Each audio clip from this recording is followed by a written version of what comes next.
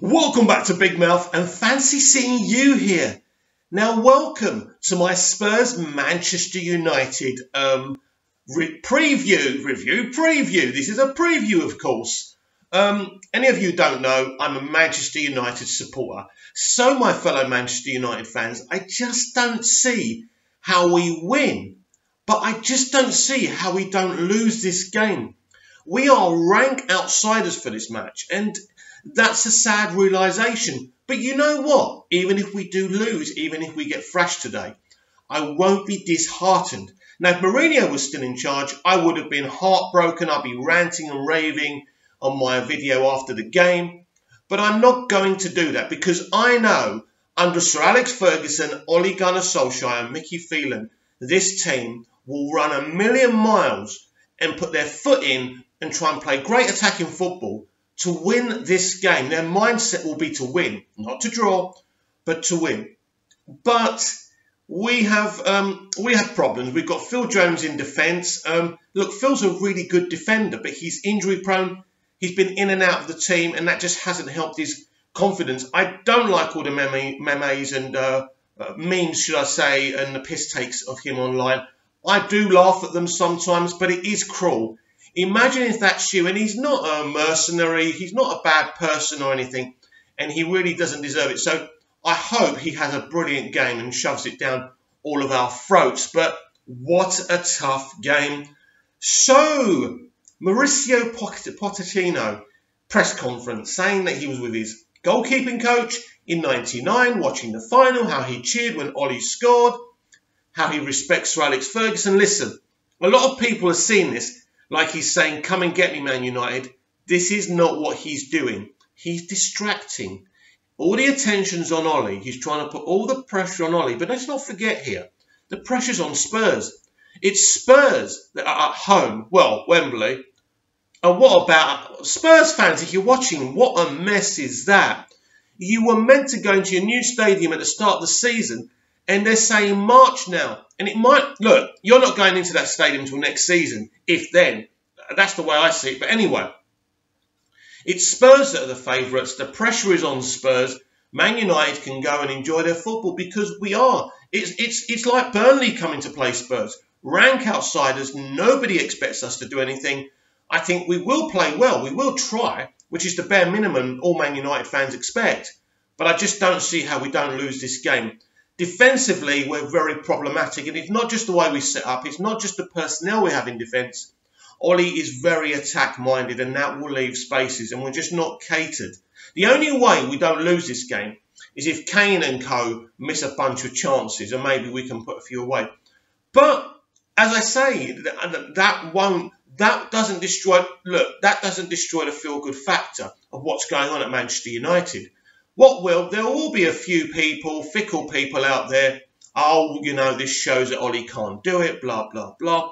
I like this setup. I like this setup of Sir Alex Ferguson, um, Ole Gunnar Solskjaer, and Mickey Phelan. That's what the structure is now. Fergie was even going to training yesterday. Funny how a bunch of teams started getting nervous as they were playing once they saw that video because people are nervous because he's making the big decisions and um, with Ollie and Mickey Phelan as his trusted lieutenants. That's the way I see it.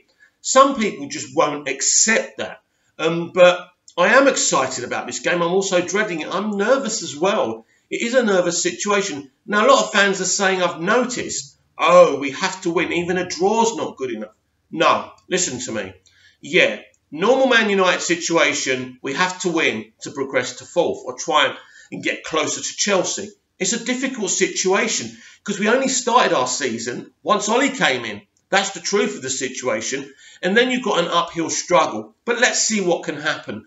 And I'm watching Liverpool as well. I want to I want to reduce that points total and the points gap between them and us because that's embarrassing. What is it about 16 points at the moment? No, no, no, no. I want to be about five points behind them by um, March or April. I know that's a lot to ask, but who knows in football? We've got to play them. Maybe we'll make a couple of signings. I don't know. On the signing front, so many rumours.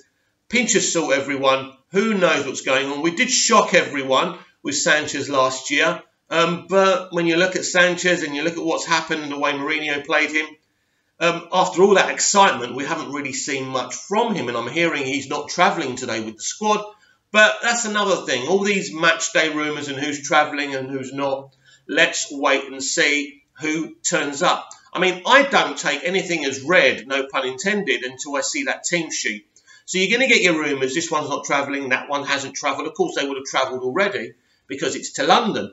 But yeah, um, it's Pochettino versus Ole Gunnar Solskjaer. It's going to be a formidable battle. It's going to be, I'm hoping it's at least going to be one of those classic games.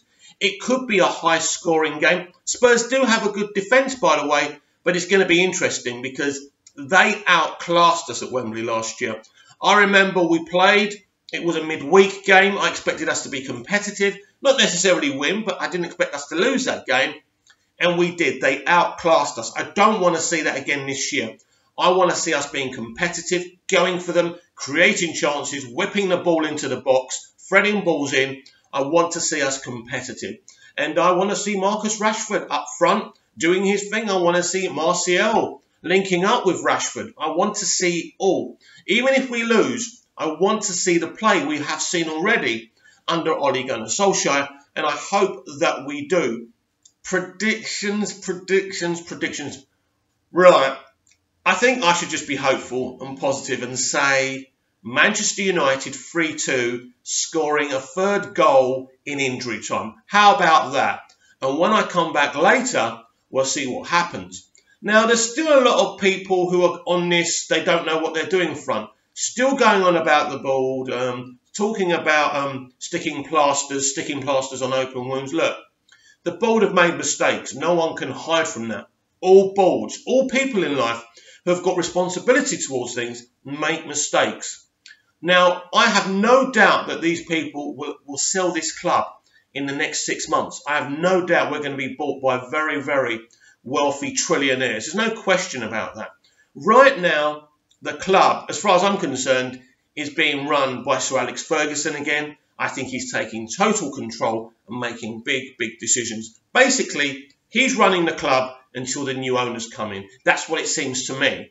So at the end of the day, anything is a bonus right now because we're not the club we want to be. But once this club is sold and once we can get the manager and the director of football we want in, slowly, slowly, we can get back to where we want to be.